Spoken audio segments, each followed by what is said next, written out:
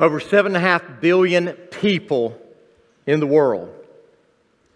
Over 3 billion of those people are classified as unreached. They have little or no access to the gospel. Over 41% of the population. They say of those unreached, those 3 billion, four out of five have never even heard the name of Jesus. Think about that for just a moment. Of that 3 billion people who are unreached, who have little or no access to the gospel, 80% of them haven't even heard the name of Jesus. Now, think for a moment if that were your son, your daughter, your grandson, your granddaughter, your husband, your wife, your mother, your father, who had never heard the name of Jesus, who had never heard about the one who can give us a hope and a future. What would you be willing to do if it was someone you loved? Let's take it a little bit further.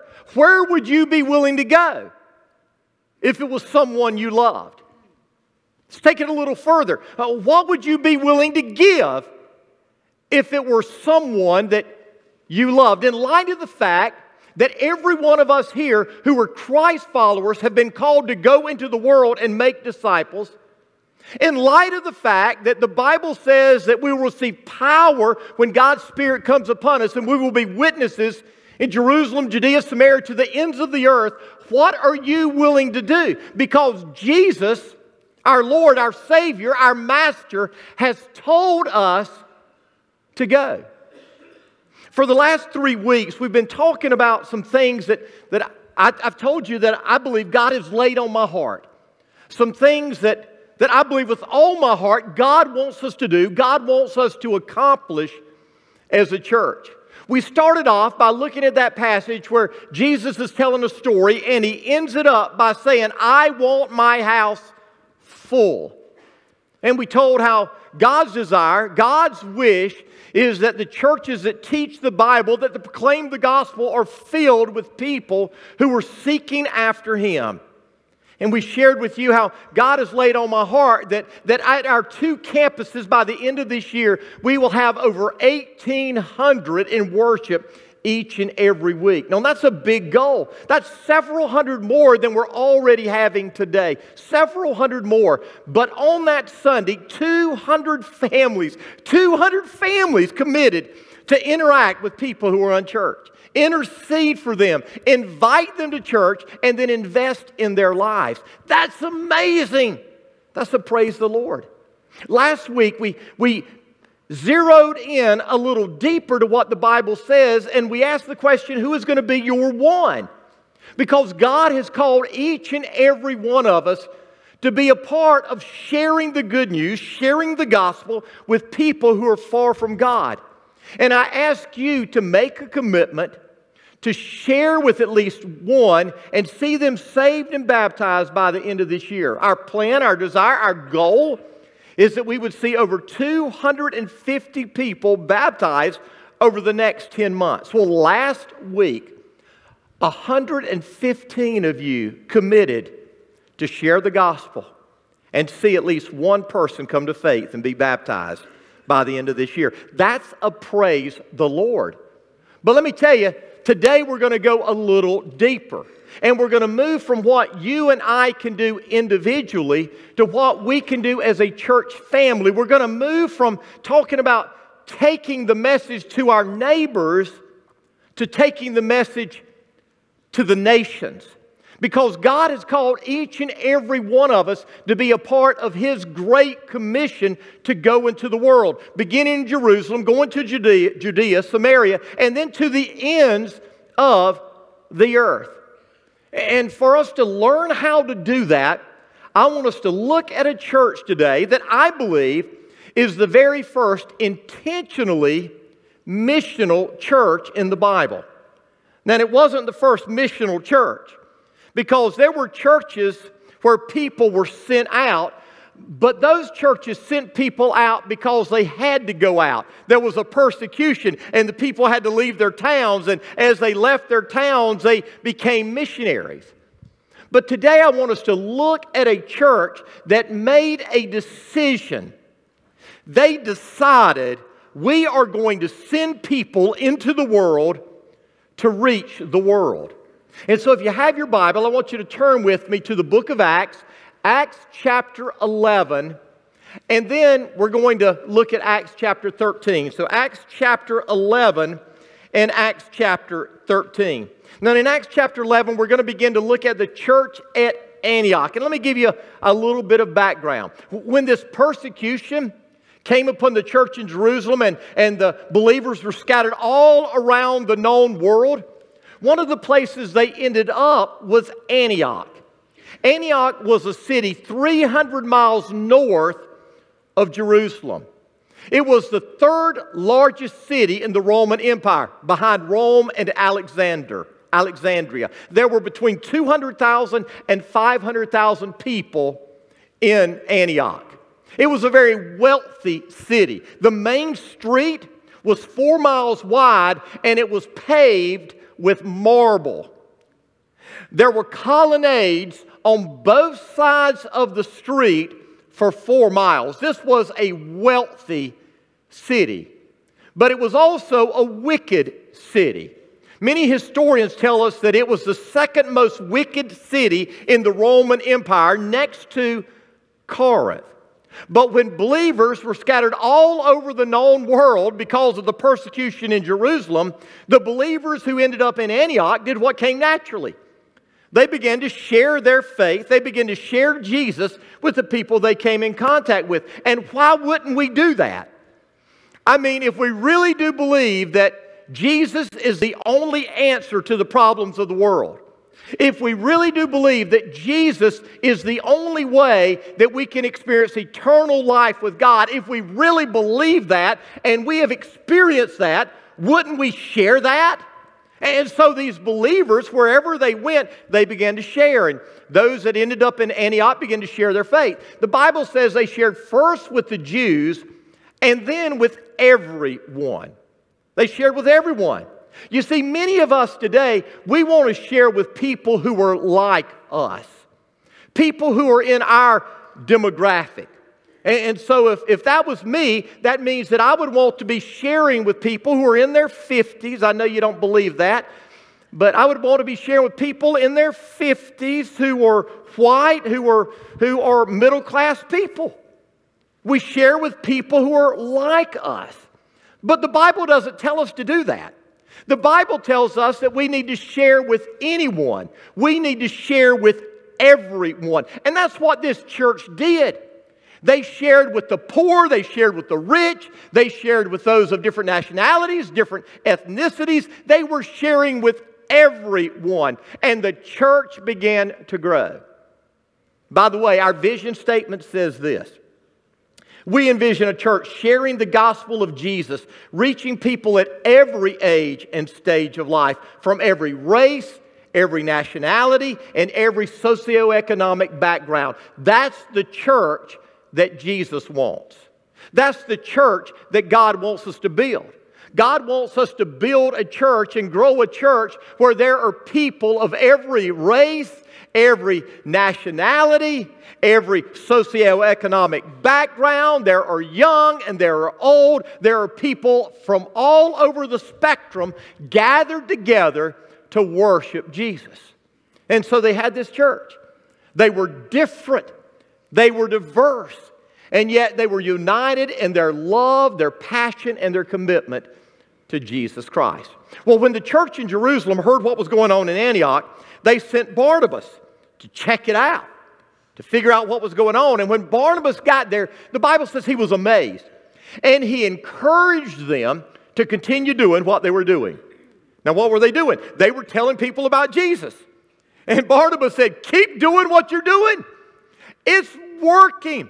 And the Bible says that the Lord continued to add people to the church. The Bible says this in some translations the power of God was upon them. The literal translation of that verse is God's hand was upon them. In other words, it wasn't the people in Antioch that were providing the results, it was God. You see, when we do what we can do, when we do what God has called us to do, then God will do what only He can do.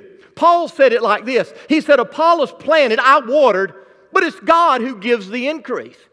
You see, we do the work that God's called us to do, share the gospel faithfully, committed, like He's told us to. And when we do that, God will intervene and His hand will be upon us and His hand will work through us and we will see supernatural things take place. So the church continued to grow. Well, Barnabas left Antioch for a season. He went to Tarsus to get Saul. We know him as Paul, but to bring Saul back to Antioch with him.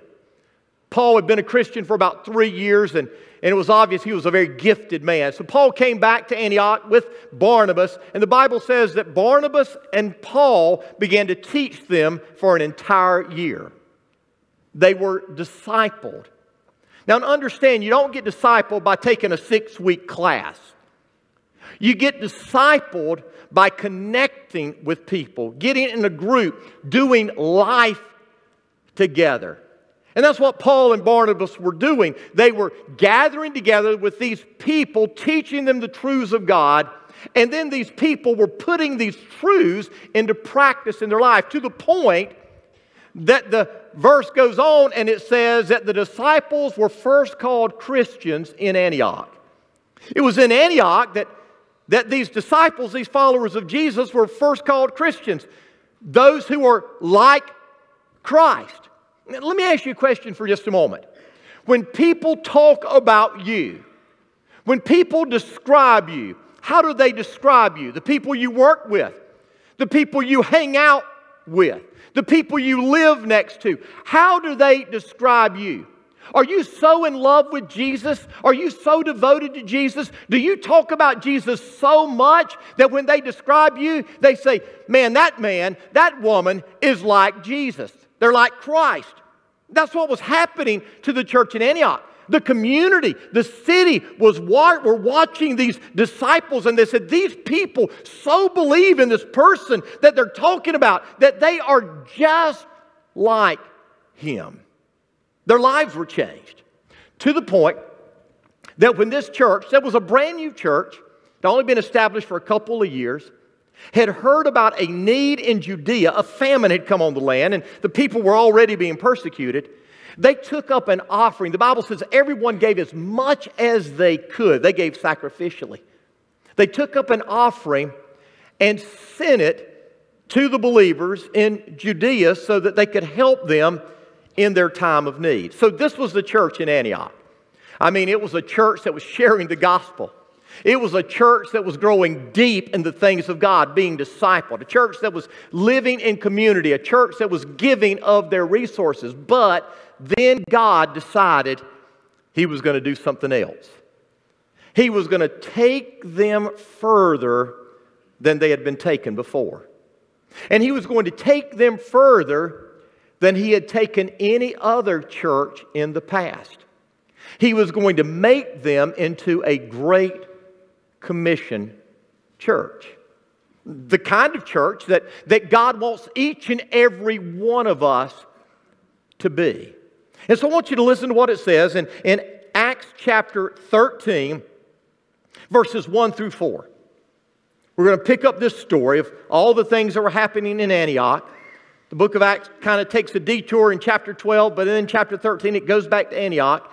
And it says this Among the prophets and teachers of the church in Antioch of Syria were Barnabas, Simeon, called the black man, Lucius from Cyrene, Manaen, the childhood companion of King Herod Antipas, and Saul. One day, as these men were worshiping the Lord and fasting, the Holy Spirit said, Dedicate Barnabas and Saul for the special work to which I've called them. So, after more fasting and prayer, the men laid their hands on them, sent them on their way. So Barnabas and Saul were sent out by the Holy Spirit. They went down to the seaport of Seleucia and, and then sailed for the island of Cyprus. Now, there are three things we see in those four verses that I believe describe a Great Commission church, a Great Commission believer. And so, if your desire is for us to be a Great Commission church, if, if you really do want to be obedient and be a Great Commission Christian, then these are three things that need to be found in your life. Let me give them to you. Here's truth number one missions flows out of genuine worship. Let me say it again missions always flows out of genuine worship. Look at verse 2. One day these men were worshiping the Lord. Now, here's the thing when most of us hear that phrase worship, our mind immediately goes to singing, right? We have a worship leader that leads us in singing. We sing praise and worship songs. We have time in our service where we worship, and then we have time where we teach. And so, oftentimes, when we think about worship, we naturally think about singing. But what you need to understand is that this word worship has nothing to do with singing. Now, some of you men are going, Praise Jesus. I don't like to sing anyway. But you need to understand that there's other passages in the scripture that clearly command us as followers of Jesus to sing unto the Lord. So you're not off the hook. Even if you can't sing on key, the Bible tells us to sing, to make a joyful noise. So we're called to sing, but that's not what this word means. The Greek word here is liturgio. It's the word that we get our English word liturgy from. Now, today, here's what liturgy means literally, liturgy literally means the order of public worship. And so, whether it is a Catholic church or whether it's an Episcopal church, a Methodist church, a Presbyterian church, a Baptist church, an Assembly of God church, uh, go crazy church, every church has a liturgy. They have some order that they're going through in public worship. So that's what liturgy means today, but that's not what this word means. The word liturgy literally means service or ministry. It comes from two Greek words. It's a compound word. It comes from two Greek words, people and work. And so the word literally means the work of the people. And so worship is the work or the service of the people. You see, the Bible says our worship is spiritual service. Our worship is our spiritual work. Robert Webber wrote a book on worship, and in that book, he reminded us that the word worship is a verb, it's an activity. It's not something we experience, it's something we do. You see, most often when we think about worship, we think about an experience. We go to Winter Jam and, and we love the worship and we have an experience. For some of you who are older, you go and you hear the Gaithers and you like it and you have an experience. But this isn't about an experience, this is about doing something. Worship is doing something. Warren Wiersbe said this he said, Worship is the believer's response with all that he is his mind, his emotions, and his body to all that God is, says, and does. So, worship is our response to God. Now, this word liturgio, it's only found three times in the New Testament. It's found in Romans 15. And in that passage in Romans 15, it's used to describe an offering that the believers gave. And so worship was giving. It is found in Hebrews chapter 10 to describe the Old Testament priest who made sacrifices before God on behalf of the people. And then it is used here. Now, when you read the passage here and you unpack the passage, it is clear that the worship here refers to fasting and praying. So the worship they're talking about isn't singing, it isn't dancing, it isn't raising the hands, it's not even giving here, it's fasting and praying. You see, the Bible teaches that fasting and praying is an act of worship. And it's a powerful act of worship. The truth of the matter is, if we want God to move, we've got to be a people who are involved in prayer and fasting. There are some things that God will not do apart from prayer and fasting.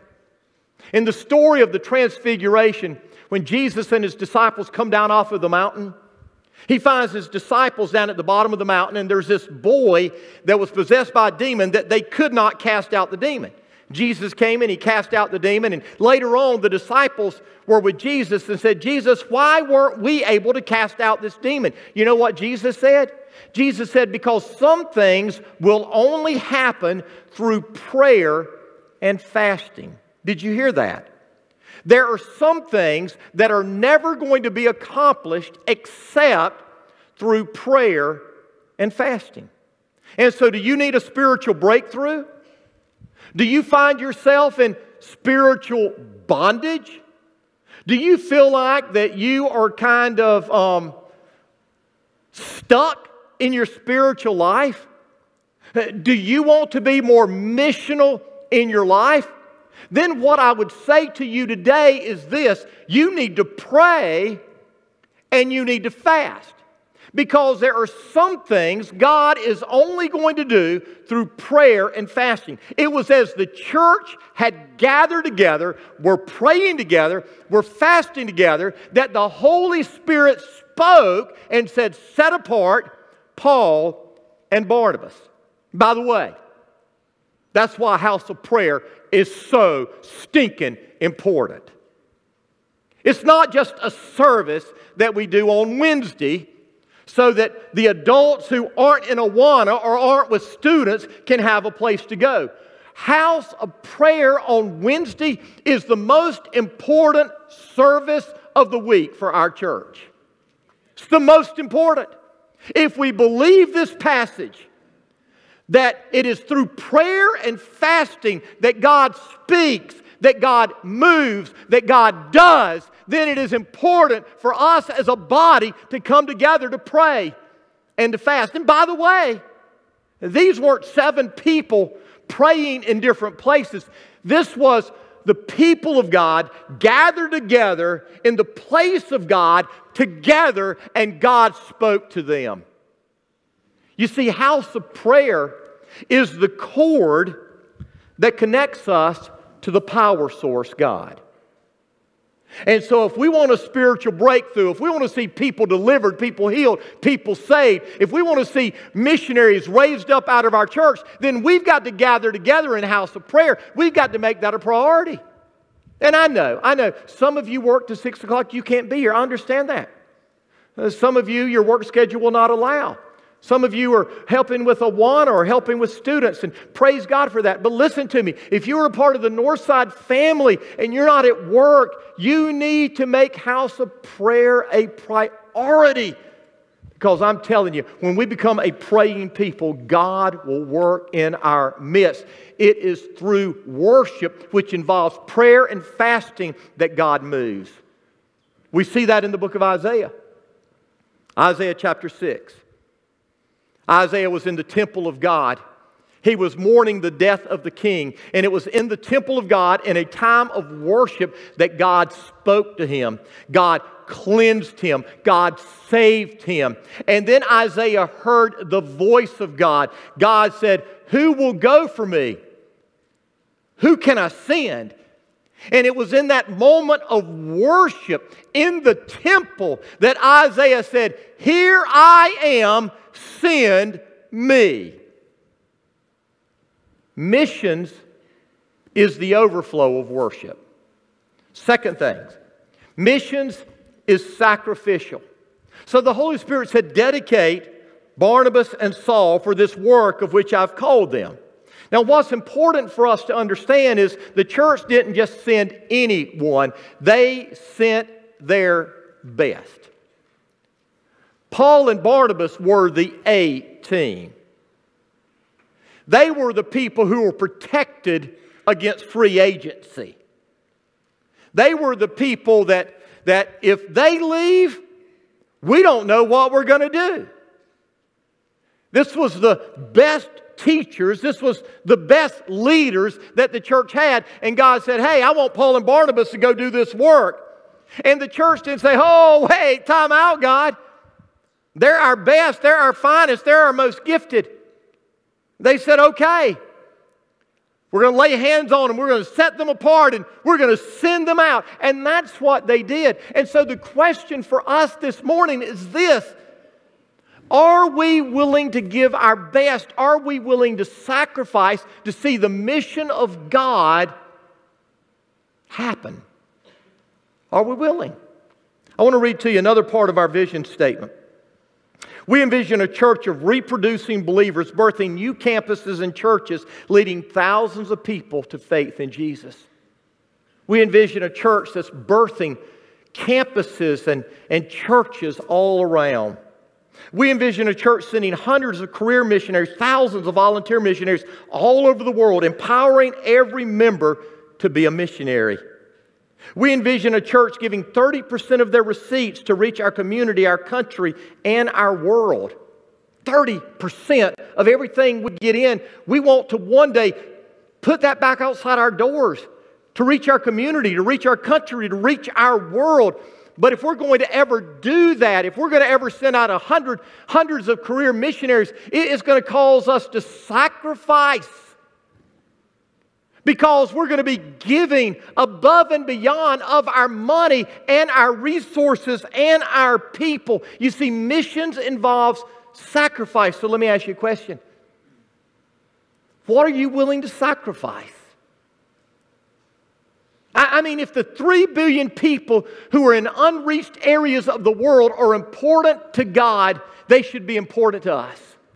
And if they're important to us, the question we must ask is what are we willing to give up? Am I willing to give up myself and go? Am I willing to begin to use the raises that I receive to give more money and, and reach more people and increase my standard of living? Am I willing to pray that, that God, if it be His will, would send my children overseas or, or to unreached areas? Am I willing to pray that for my grandchildren? Missions involve sacrifice. But then, third, missions is personal. Missions involves each and every one of us putting our yes on the table and saying, Whatever you ask God, I will do. Wherever you lead God, I will go. Whatever, God, I am yours. If we're going to be a Great Commission church, it's going to require each and every one of us to personally ask God, God, what is it you want me to do? Now, I want to bring this home to what I'm going to ask you to do this morning. When you came in this morning, you received one of these cards. It's the commitment card to what we want to do in missions. And there's four parts to this card. First of all, is the prayer part. I, I really don't understand why any of us would be unwilling to pray for lost people by name pray for our mission partners, to pray for the unchurched. We should make that a commitment. That's something we can all do. But I would go further than that because I'm afraid some of us just say these quick prayers when we're driving to work. We say this quick prayer when we're nodding off to sleep at night rather than really pleading before the throne of God. And so I would ask you, would you help us become the kind of church that is known as a house of prayer? A place where prayer and fasting is vital to the heart of God. Second, would you give? Now, here's the thing if you're not a part of the Northside family, if you're a guest today, tune out what I'm saying right now, okay? Just tune it out. But if you consider Northside your spiritual home, even if you haven't joined, and you don't give, then what I want to challenge you to do this morning is begin giving. Don't give to missions, just give. Just give. If you're not giving, start. Start somewhere. You say, Where should I start? I'm just telling you to start. Start. Second, if you're part of the Northside family and you're giving but you're not tithing, start giving obediently. Uh, the tithe is not the finish line of Christian giving. The tithe is the starting line of Christian giving. The Bible teaches grace giving, which goes above and beyond the tithe. And so, if you're already giving, I would challenge you start tithing. Here's what I can tell you I can, I can only tell you what the Bible says, and the Bible commands tithing, and I can tell you what I've experienced. Here's what I've experienced. From the very first moment my wife and I have been married, we've been sacrificial givers.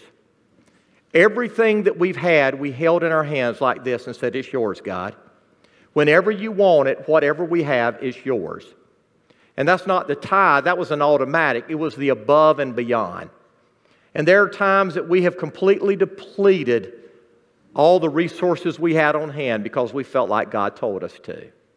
There were times that we sold things because we felt like God told us to. And what I can tell you is this when we've lived that way, we haven't lived in poverty. I'm just telling you that when we've lived that way, God has just always put more and more and more in our hands. And the reason I think that He's done that is because He said, I can trust them. I can put stuff in their hands and they will be used as a conduit to give to my mission, my vision, my heart. And He's done that. And I would challenge you if you're not tithing, start tithing. If you are tithing, then I would challenge you to give to our missions offering. Give above and beyond what you're tithing to our missions offering to reach the nations. Our budget, we have money that goes to reach the nations, but we have a missions offering that goes above and beyond that. Things that are helping us do things like to send a missionary to reach the Iban people, to plant churches in the northeast part of the United States, to, to minister to, to various needs in our community, to various partners that we have. And so begin to give sacrificially and generously give. Third thing I've challenged you to do is care. You can't really be on mission unless you care for people. And, and on this card, the crazy thing is, you will find a multitude of ways that you can care right here. In two weeks, we have food from the heart. We're going to collect over 100,000 pounds of food in one day. You can help, and you'll be caring. We've got a ministry called Mission Columbia that gives away food and clothes and talks to people about Jesus. You can volunteer there. You can do that. We've got partnerships with Connie Maxwell and, and ministries that help young ladies who are involved in, in sex trafficking, all kind of things that you can get involved in. You can care. But then third, share.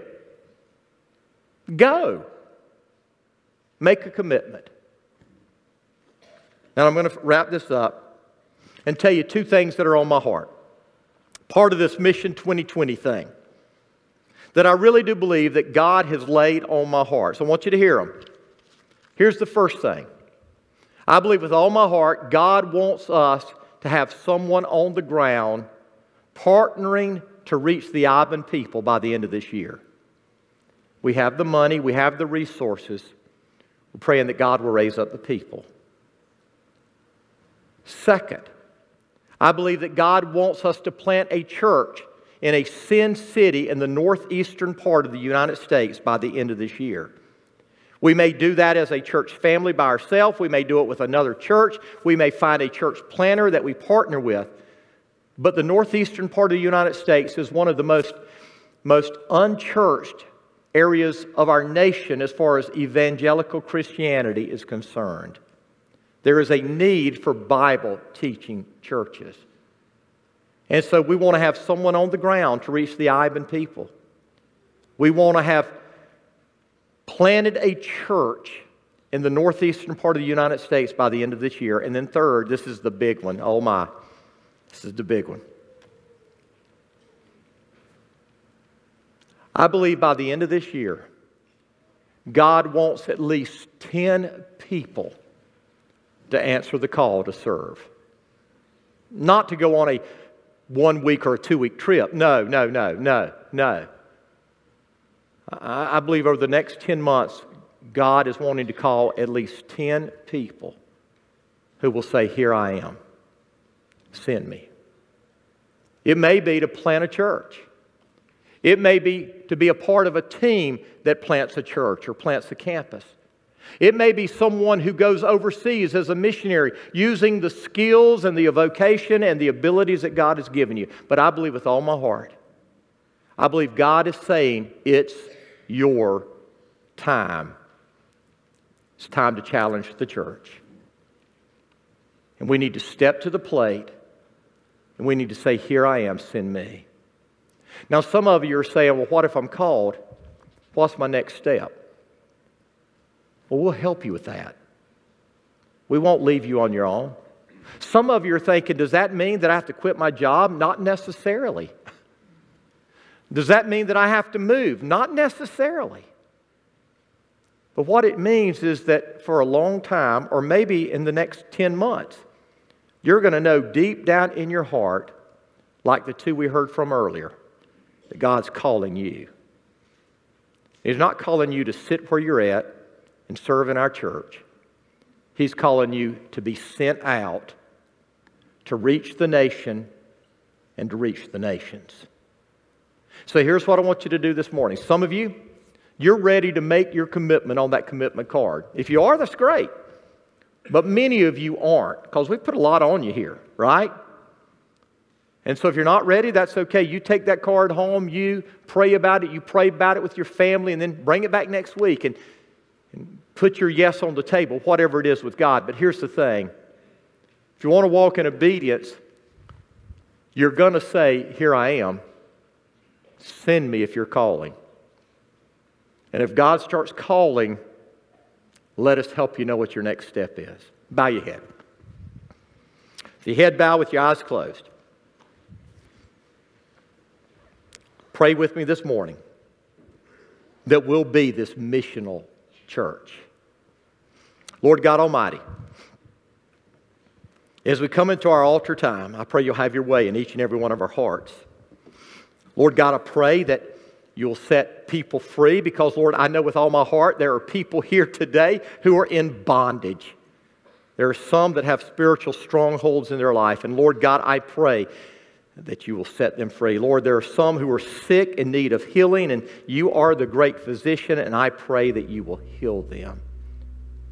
Lord, there are some who are in a relationship that is going nowhere, and I pray that you'll restore it. Lord, there's some who are lost. They know it. They don't know you. They may know about you, they may know who you are, but they don't know you. And Lord, I pray today they'll come to know you how much you love them. And then, Lord God, I believe there are some that, that are being called even right now, this very minute. They don't need to wait a month or 10 months. Lord, they know God's called me. I haven't responded.